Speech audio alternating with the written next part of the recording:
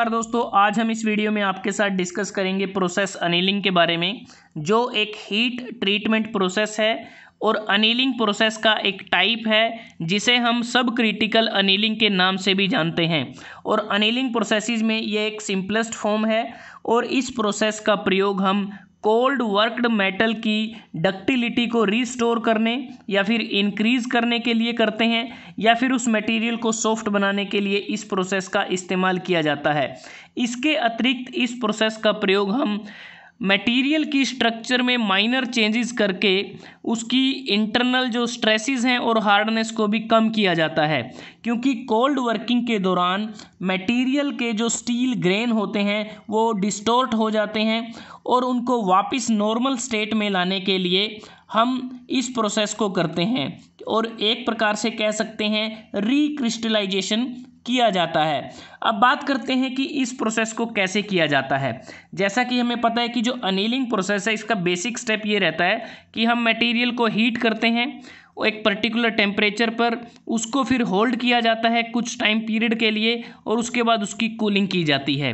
अब बात करते हैं कि जो लो कार्बन स्टील या फिर हाइपोयूटेक्टोइड स्टील अब हाइपोयूटेक्टोइड स्टील वो होते हैं जिसमें कार्बन परसेंटेज ज़ीरो दशमलव आठ तीन परसेंट से कम होती है। अगर आप इस डायग्राम को देखें ज़ीरो दशमलव आठ तीन परसेंट तक जो कार्बन होती है, वो हाइपोयूटेक्टोइड स्टील कहलाते हैं।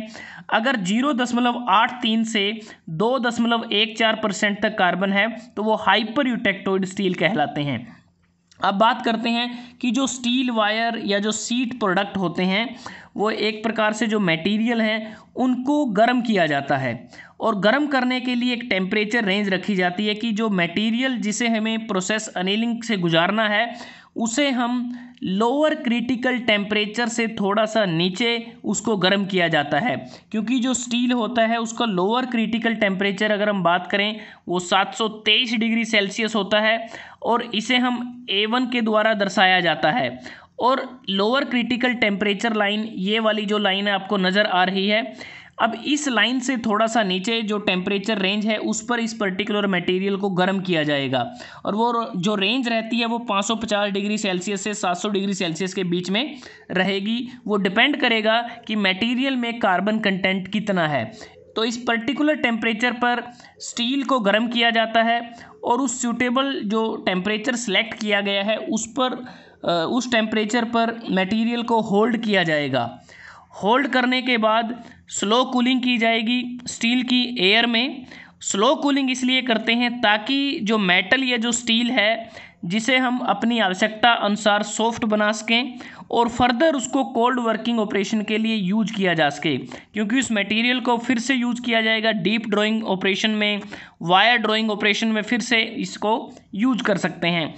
अगर हम बात करें प्रोसेस अनिलिंग के दौरान जो मटेरियल होता है, उसमें फ़ेज़ चेंज नहीं होता। क्योंकि ये जो हाइपोइटेक्टोइड स्टील है, अगर हम देखें, जो लोअर क्रिटिकल टेम्परेचर लाइन से लाइन से नीचे का जो पोर्शन है, उसमें फेराइट और परलाइट होते हैं।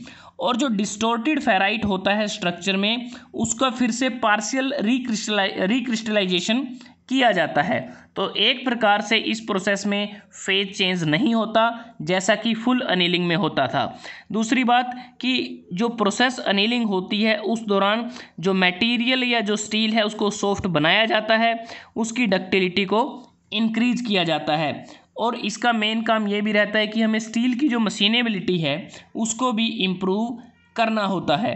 तो दोस्तों, आज हमने इस वीडियो में आपके साथ डिस्कस की प्रोसेस अनिलिंग जो एक हीट ट्रीटमेंट प्रोसेस है। अनिलिंग प्रोसेस का एक टाइप है और जिसे हम सब क्रिटिकल अनिलिंग के नाम से भी जानते हैं। अगर आपको ये वीडियो अच्छा लगा, आप इसको लाइक कर सकते हैं शेयर कर सकते हैं अपने दोस्तों के साथ स्टूडेंट्स के साथ और चैनल को सब्सक्राइब करना ना भूलें। जल्द ही हाजिर होते हैं एक नए वीडियो के साथ। तब तक के लिए धन्यवाद। आपका दिन शुभ रहे।